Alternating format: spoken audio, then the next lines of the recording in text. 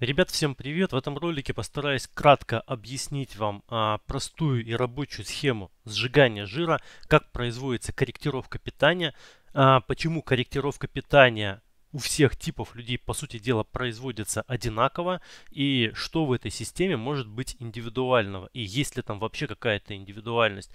А, я хочу привести пример разных людей с разной степенью ожирения, с разными типами питания, вот здесь и сейчас, да, то есть в настоящий момент, и как производится корректировка. И показать вам, что в принципе корректировка происходит по одним и тем же схемам абсолютно.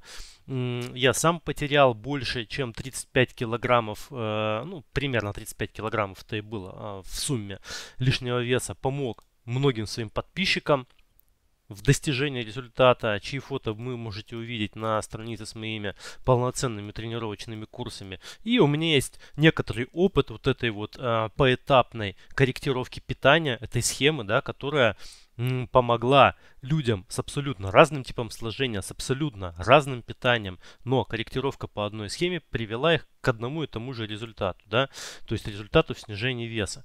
Итак, вот у нас есть три типа людей. У одного 40% жира, у второго 30 и у последнего 15. Все они хотят похудеть. Понятно, что... Ну, я здесь так условно отобразил, да, что план питания у них прям разный. Понятно, что человек, у которого 15% жира, он, скорее всего, питается более правильно, чем человек, у которого 40% жира. При прочих равных. И как производится корректировка? Корректировка производится у всех одинаково. Единственное различие да, в том, что у человека, у которого здесь вот такой вот план питания и 40% жира, у него просто этапов корректировки будет больше, но принципы абсолютно одни и те же.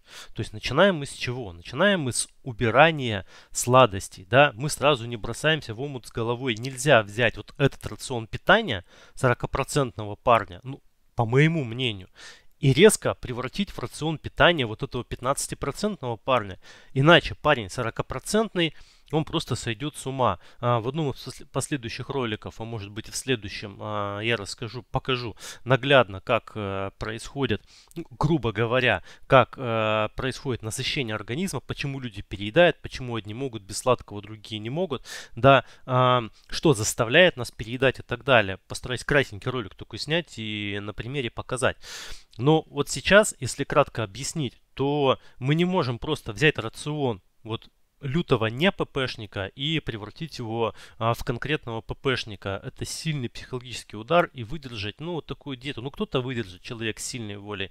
А большинство, конечно, ребят сорвутся и как бы там не набрать больше, чем было до этого. Поэтому корректировки, по моему мнению, это как раз то, что описано в моих полноценных тренировочных курсах. Они происходят поэтапно. То есть сначала мы начинаем потихонечку убирать сладости, убирать или сокращать тот сахар, который, те сахаросодержащие продукты, которые есть у нас в рационе.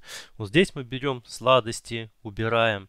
Дальше, через какое-то время, там условно через неделю, мы вот здесь убираем полностью, полностью сладости или часть их. И вот здесь вот можно вот эти сладости как раз таки заменять на какие-то а, продукты типа вот э, творог или протеин, да, предположим, мы вот сюда вот вставляем. То есть мы либо убираем, либо заменяем на какие-то более полезные продукты. Опять же, здесь сладкую воду убрали, да, и заменили там, скажем, э, скажем, на творог, да, ну это может быть кефир, это может быть какой-то не сладкий йогурт а, или йогурт на основе сахарозаменителя, да, без э, с углеводов, либо с очень низким содержанием углеводов. И вот таким вот образом постепенно, постепенно мы убираем сладкое и заменяем на какие-то полезные продукты. Здесь, в принципе, то же самое, да, то есть здесь просто у нас корректировок чуть побольше, здесь у нас корректировок чуть поменьше. Здесь сладости мы заменяем тоже там на Сейчас тут дубликат слоя. Мы заменяем на протеин, либо какие-то другой полезный, там, скажем, белковый продукт, да, и выстраиваем свой рацион вот примерно таким образом. И в итоге постепенно мы заменяем и другие продукты, да, то есть гамбургеры мы заменяем, например, на гречку, да, там, да, здесь гамбургеры убираем, да, у нас здесь э, гречка с мясом. То есть более вредные условно продукты, хотя гамбургеры, конечно, я тоже ем гамбургеры иногда, но это происходит у меня достаточно редко, может быть раз в неделю, там раз в две недели. Вот, то есть в этом ничего плохого нет. Вы можете периодически есть какие-то а, продукты типа там фастфуда и прочего. Просто не нужно делать это на постоянной основе, да, чтобы это не было частью вашего постоянного рациона. И таким образом постепенно и поэтапно мы убираем заменяем вредные продукты на более полезные и в этом случае, где у нас 40%, и в этом случае, где у нас 30%, пока мы не добираемся до вот рациона примерно вот этого 15-процентника, грубо говоря, где у нас вот э, бутерброды там на овсянку заменяются и так далее. И затем что у нас происходит? То есть у нас здесь уже там супер правильный рацион, да, то есть мы едим овсянку, мы едим яйца, гречку, творог, э, макароны из твердых сортов, пшеницу, но мы хотим похудеть еще, снизить там жировую прослойку, предположим, до 10%.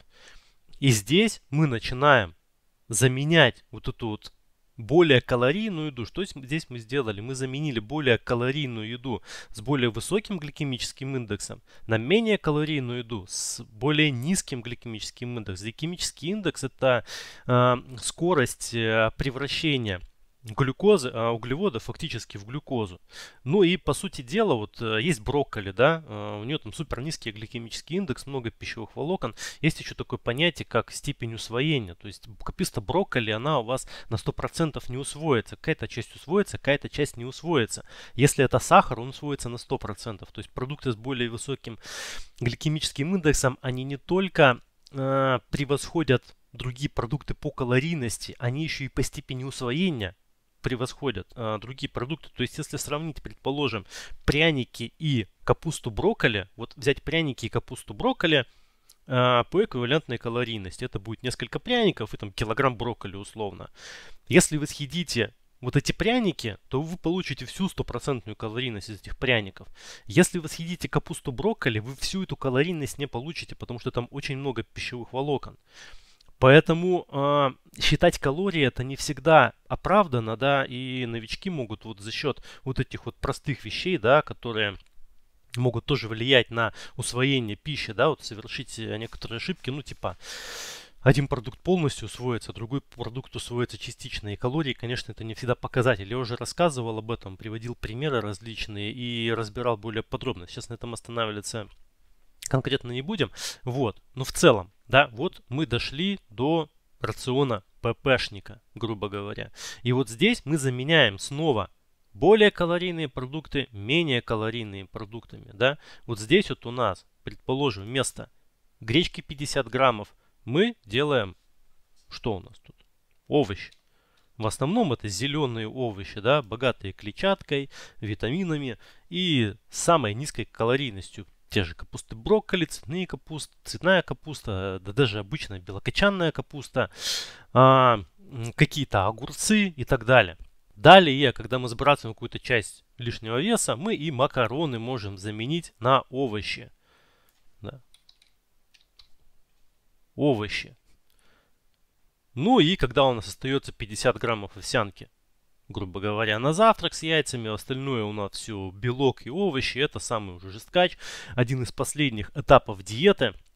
И здесь мы, конечно, дожигаем все то, что могли дожечь.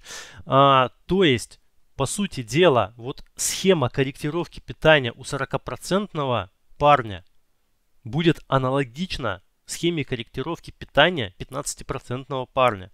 Мы постепенно заменяем более калорийные продукты менее калорийными продуктами с более низким гликемическим индексом, добавляем в рацион больше овощей, снижаем калорийность и движемся к успеху постепенно, поэтапно. И секретов здесь на самом деле никаких нет. Что происходит дальше? Когда мы похудели, уже там до того момента, которого нам нужно, либо вот если в случае, в случае с 15% парнем, да, он похудеет вот на таком этапе, то есть у него изначально было 15%, он пару месяцев на этой диете посидит, и у него там будет уже процентов 12, может быть и меньше. 40% парень, скорее всего, он дойдет там, ну, не знаю, там до 30%, до 25%, смотря сколько будет сидеть, какой метаболизм, а, состав тела изначально и так далее. ну, он скинет какое-то количество веса, но он однозначно не дойдет до того результата, до которого дойдет парень, который изначально был 15%.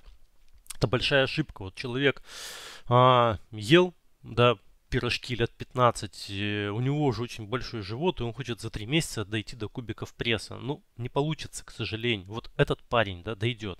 Этот парень, конечно же, вряд ли. И наступает момент, когда вы вот опускаетесь вот до такого момента диеты, когда уже углеводы у вас только на завтрак, остальное а, белок, овощи и так далее. И здесь уже находиться на такой диете достаточно сложно. И 15% парню, и тем более 40% парню.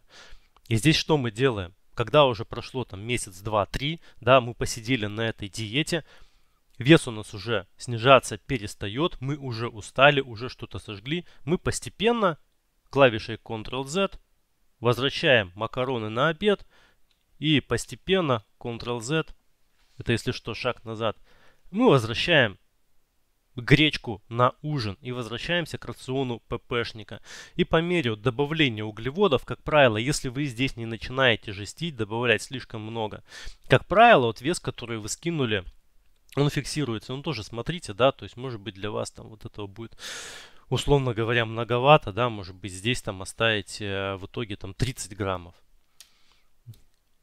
Да, предположим. И вот примерно, на самом деле все это происходит на глаз, и здесь вы фиксируете тот вес, который вы скинули, и остаетесь в хорошей физической форме. Здесь то же самое. То есть парень, а, который похудеет с 20, 40% до 20%, он не выходит на рацион бутерброды, гамбургеры и так далее. Он выходит вот примерно на рацион ППшника. То есть постепенно он добавляет снижает сначала углеводы до уровня овсянка только на завтрак, потом овощи, белок. И затем постепенно добавляет в свой рацион какие-то сложные углеводы и фиксирует тот результат, а, которого он добился. Потом отдохнули, можно еще раз жестко урезаться, посидеть там месяц-два, ну в среднем диета где-то месяца два с половиной, три занимает. И в принципе сложного ничего здесь нет. Происходит она. Вот у меня э, очень часто этот вопрос. Мне нужен какой-то индивидуальный план питания. Ну, что индивидуального в том, чтобы убрать гамбургеры, заменить их гречкой, а потом э, на последнем план, э, на последнем этапе диеты заменить эту гречку на овощи, ну, мне не совсем понятно. То есть здесь не будет такого, что вот этот вот парень питается как-то по диагонали, а вот этот линейно абсолютно одинаково заменяются, заменяются более калорийные продуктами, менее калорийными, и все происходит по одним и тем же принципам, абсолютно. И у нас очень много примеров, когда ребята с совсем разным, абсолютно разным телосложением, абсолютно разным процентом жира, а, и возрастом, кстати, вот Вадиму сколько? Он начал заниматься в 51 год уже, да? А здесь ребятам, вот Антону 29 лет. То есть совершенно разный возраст, совершенно разные типы телосложения. И снижение веса происходит абсолютно одинаково при питании по а, вот такой вот классической схеме, которая, кстати, подробно описана в моих полноценных тренировочных курсах, ссылку на которые вы найдете в описании к этому ролику. Поэтому, ребят, Здесь все просто, фантастики никакой нет. А, по сути дела в этом разобраться каждый может сам. Вопрос тогда, да, вот э, есть какие-то полноценные тренировочные курсы, в чем фишка и зачем, собственно, да, просто там поэтапно все расписано, сразу вот а, разжевано, в рот положено, да, осталось только проглотить. Не нужно ничего выдумывать и искать какие-то, а, какую-то информацию, изучать это просто самостоятельно, пробовать, ошибаться там и так далее. То есть секретов никаких нет, просто все, все эти планы питания э, и программы тренировок, да, которым желательно бы следовать, они изложены простым языком, в простой доступной форме, форме поэтапно, то есть уже готовая информация, по сути дела, к использованию. Все ссылки вы найдете в описании к этому ролику, там же найдете ссылки на спортивные добавки, которые произвожу под своим брендом, на мой телеграм-канал и другую полезную информацию. Я желаю вам всем катаболизма, в жировой ткани, это значит сжигание, и анаболизма в мышечной, это значит рост. А, желаю вам всем отличного настроения, качественного состава тела и успехов по жизни. Спасибо за просмотр, ребят. До новых встреч!